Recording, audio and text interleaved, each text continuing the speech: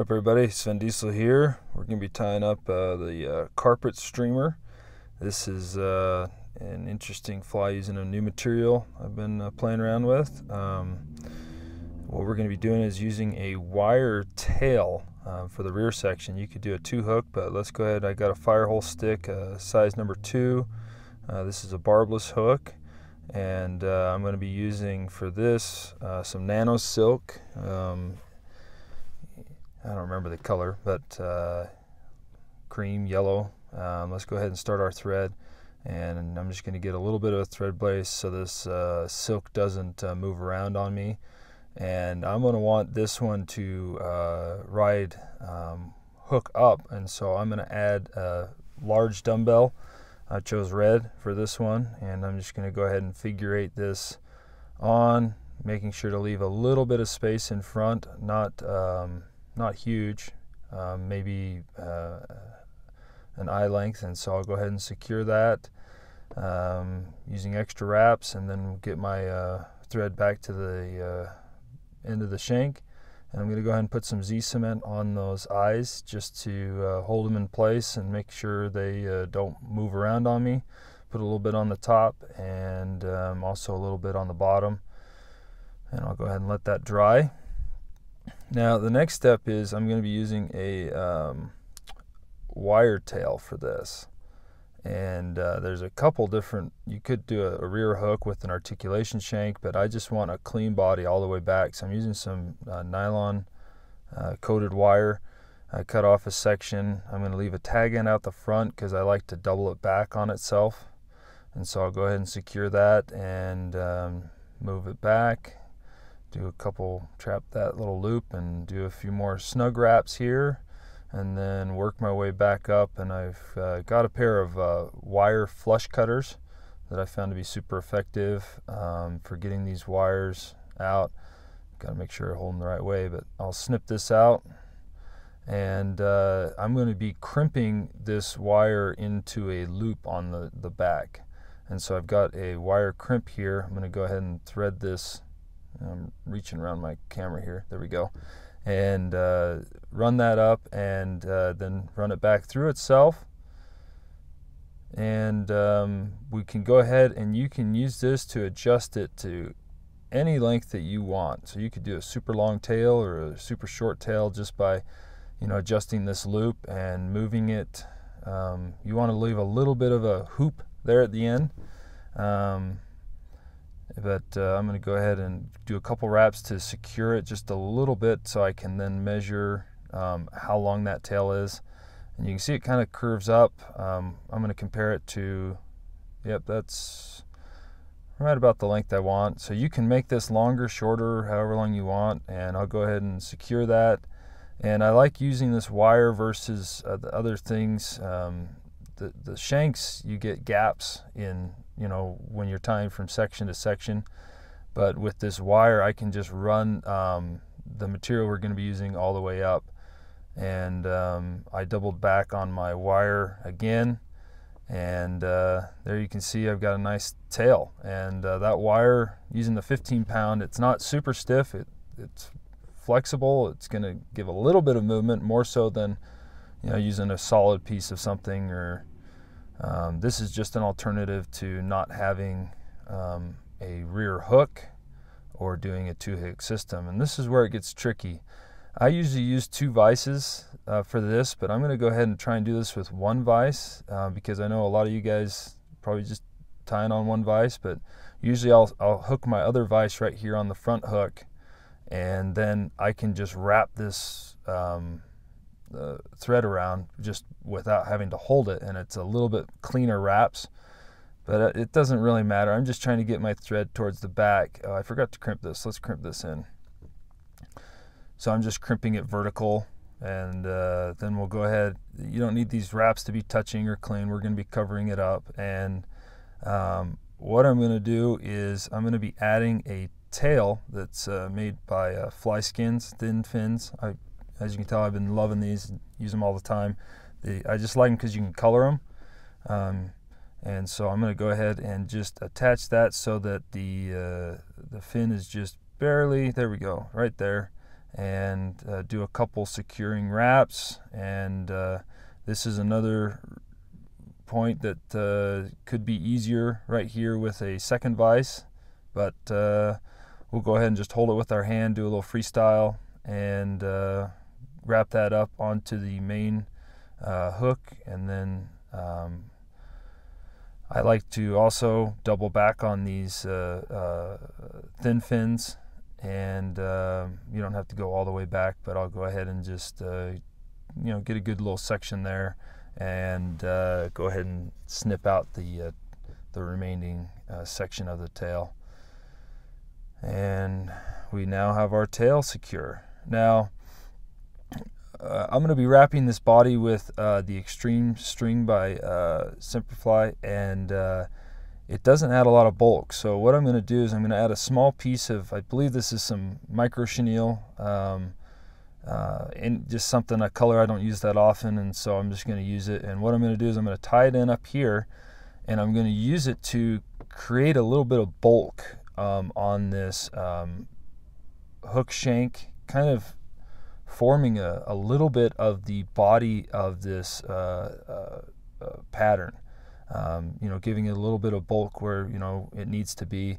Um, otherwise, I'd probably use a whole card of the uh, body uh, extreme string I'm going to be using, and so this way I'm able to you know minimize the amount of um, extreme string I use. And also, you know, when it gets wet, if I'm doing a lighter color, you could accent this in different colors of, of underbody chenille and, you know, it might show through. Um, but uh, you can see I've got kind of a uniform taper. I'm going to build up a little bit of bulk right there and go ahead and tie it off. So you can see the, the body, I just pretty much formed a, a mold and, uh, you know, we're not going to be seeing this, so I'm just going to wrap over it again which you know might secure it a little better, whatever. Um, I don't think. I think this is a pretty strong, uh, uh, durable fly um, streamer. So now um, we're going to go ahead and add this uh, extreme string, and uh, this is um, kind of a, a, tan. It's got a little shimmer to it, but uh, I'm going to just cut off a section here that's probably 18 inches maybe and I'll just go ahead and tie it in right here in this uh, back section I have exposed and just uh, doing a couple wraps. Again you could throw this rear tail in a in a vise and uh, have this secure so you're just wrapping it nice and easy but uh, I am also just using my hand. It's fun. Just throw the bobbin over and catch it again.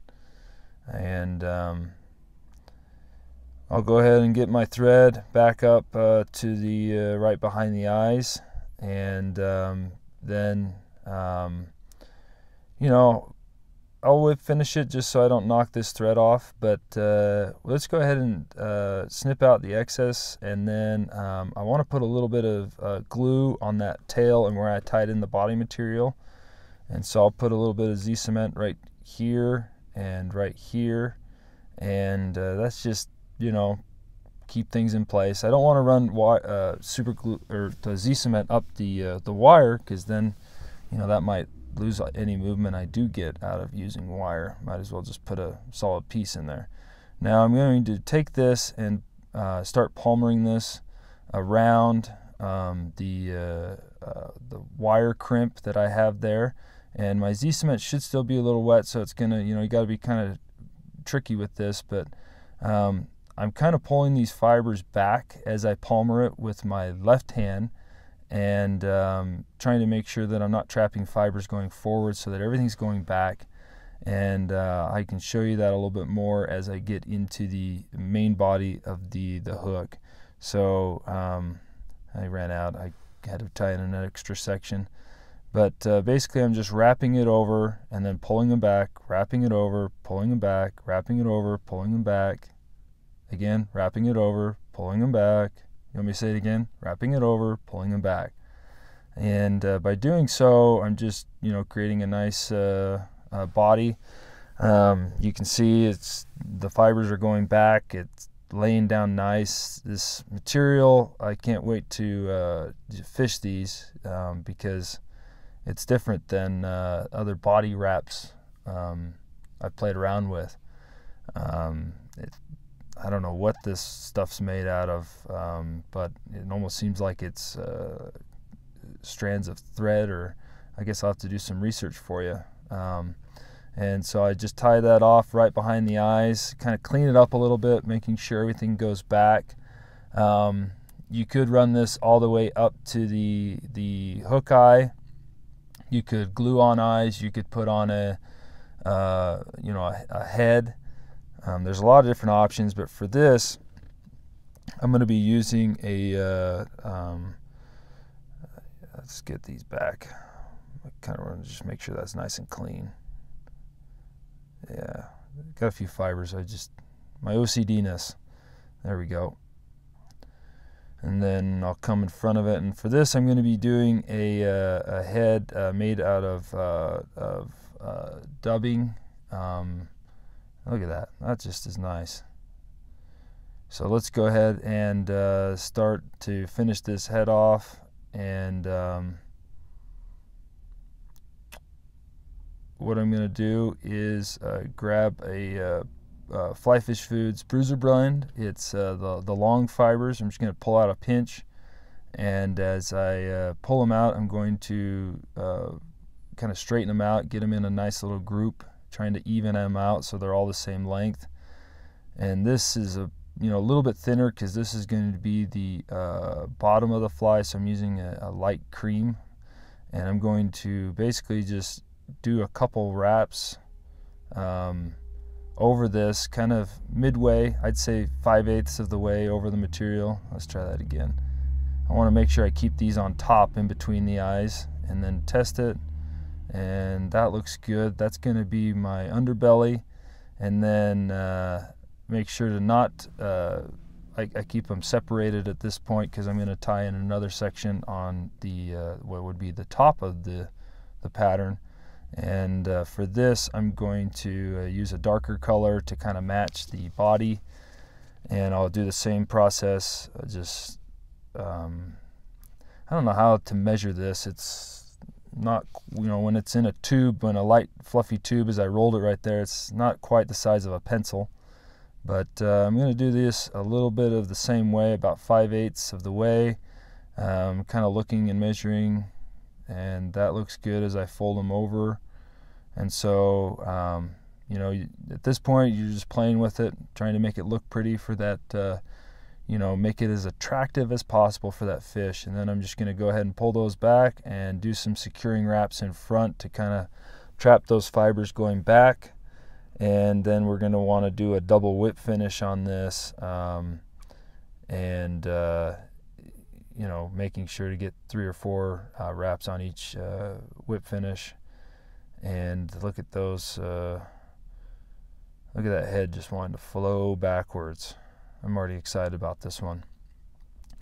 Now we're not done though. Um, we'll snip out our thread. This is not the final step. You're gonna have bruiser blend fibers coming out. You can comb it. I'm just gonna kind of preen them back and kind of try and trap out as many loose fibers as you want um, and uh, see how that lays. I really like that. That looks good. All right, now it's trimming time. Um, I've got these long scissors I like to use, and basically I'm going to trim the uh, underbelly to be just inside of the hook point. And so I kind of feel where that hook point is, and I start by trimming the belly and the top and the sides, and then I kind of round everything out. And so um, making sure not to trim off that tail that's another key thing. And uh, I'm doing this around my camera, so it's uh, you know not the best uh, shot and not as easy as I make it look. But uh, we're doing core workout right now as well, so um, so I'll go ahead and trim that up, and uh, you can see we've got ton of movement. Um, super durable. The last thing is let's color this tail. I'm just going to use a brown sharpie I'm just going to paint that tail, and there we go. Hook up, barbless. Look at that. Turn left, turn right. Um, trimmed up a little bit. Um, that should be a, a nice lip piercer. say hi.